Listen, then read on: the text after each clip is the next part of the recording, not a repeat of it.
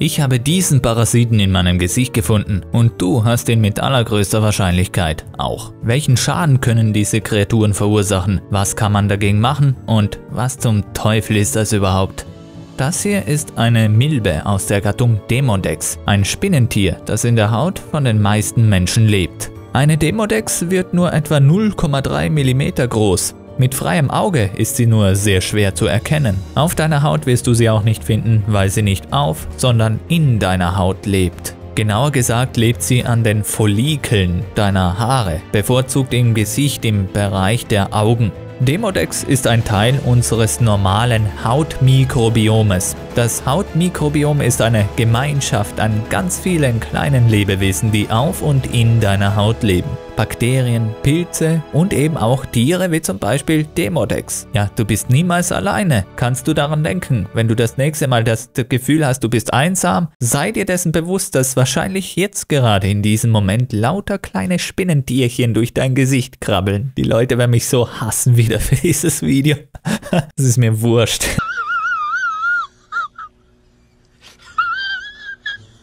So, und jetzt denkst du wahrscheinlich, aber ich wasche mir täglich das Gesicht und gehe duschen und bin ganz ein sauberes Wesen. Tja, egal wie sauber du bist, das hat überhaupt nichts mit Hygiene zu tun. Du hast diese Viecher in deinem Gesicht. Wenn ich nun aber sage, dass diese Milbe ein ganz normaler Teil von unserem Hautmikrobiom ist, warum verwende ich dann den Begriff Parasit? Denn mit einem Parasiten infiziert man sich ja und der Parasit verursacht normalerweise auch Symptome, weil er irgendeinen Schaden anrichtet.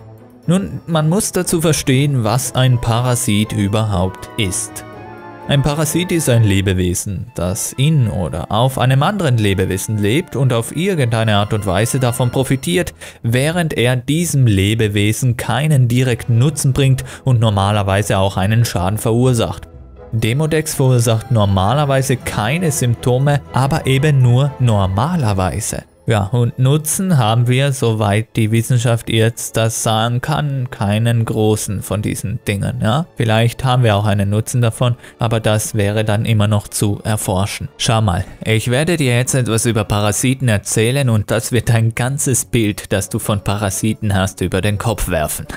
Parasiten sind von ihrem Wirt abhängig. Das bedeutet, es wäre für den Parasiten ein Nachteil, wenn er seinen Wirt zu sehr schädigen oder sogar töten würde. Also geht die Evolution der Parasiten oft in die Richtung, dass sich der Parasit an seinem Wirt anpasst, indem er versucht, möglichst unauffällig zu sein und möglichst wenig Schaden im Wirtsorganismus anzurichten. Dadurch verursacht er natürlich auch viel weniger Symptome. Hinzu kommt jetzt, dass sich nicht nur die Parasiten an uns anpassen, sondern auch unsere Körper passen sich an die Parasiten an dann kann es zum Beispiel sein, dass unser Körper den Parasiten irgendwann mal einfach akzeptiert und aufhört ihn zu bekämpfen. So nach dem Motto, wenn du keinen Schaden verursachst, darfst du meinetwegen hier bleiben. Das ist aber immer noch nicht das Ende. Parasit und Wirt können sich so gut aneinander anpassen, dass dich der Parasit plötzlich sogar stärker macht. Zum Beispiel indem er mit dem Immunsystem auf eine ganz spezielle Art und Weise interagiert und dieses dadurch trainiert und du dadurch resistenter gegen Krankheiten oder Allergien wirst. Das kann dann so weit gehen, dass es dem Wirt sogar schlechter gehen würde, wenn er seinen Parasiten nicht hätte. In diesem Fall sprechen wir dann aber nicht mehr von einem Parasitismus, sondern von einer Symbiose eine Symbiose ist eine Lebensgemeinschaft, bei der beide Parteien etwas voneinander haben und sich nicht mehr schädigen. Die meisten Bakterien, die heute auf und in dir leben und teilweise lebenswichtig sind, könnten also in der Vergangenheit irgendwann einmal durchaus einfach Parasiten gewesen sein, die uns befallen haben und die uns vielleicht sogar sehr krank gemacht haben. Beziehungsweise nicht uns Menschen, sondern unsere Vorfahren. Und Demodex ist jetzt genau auf diesem evolutionären Übergang. Sie lebt in unserem Körper, profitiert von uns, während wir nichts davon haben, aber im Normalfall verursacht sie auch keine Schäden mehr. Allerdings kann diese Milbe unter gewissen Umständen trotzdem sehr unangenehm werden. Insbesondere wenn sie in großen Zahlen in unserer Haut vorkommt. Dann kann es zu Hautproblemen kommen, zu chronischen Ausschlägen, zu Rötungen, zu Ekzemen im Gesicht und zu einer Entzündung der Haut. Sowas kann dann passieren, wenn das Hautmikrobiom aus dem Gleichgewicht gerät. Zum Beispiel, wenn man sich das Gesicht zu oft mit Seife wäscht oder wenn man seine Haut zu oft mit billigen oder aggressiven Kosmetikprodukten behandelt. Was können wir jetzt dagegen machen?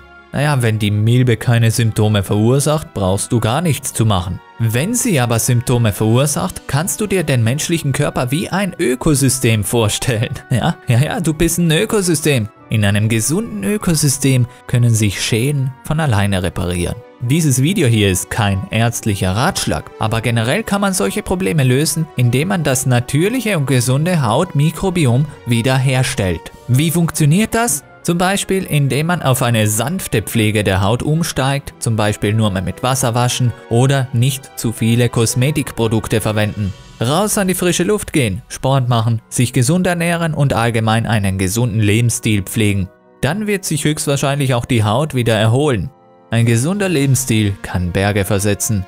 Ich selber habe es geschafft, durch meine gesunde Lebensweise immun gegen einen der gefürchtetsten Parasiten Europas zu werden, und zwar gegen Zecken. Wenn du sehen willst, was da im Körper passiert und wie ich das geschafft habe, schau dir gerne das Video an, das ich dir hier im Abspann vorschlage. Bis gleich. Tschüss.